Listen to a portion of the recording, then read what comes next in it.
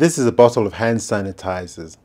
And most mothers will have a bottle of this in their bags just in case of emergencies when little Johnny falls over and gets his hand dirty and she wants them clean.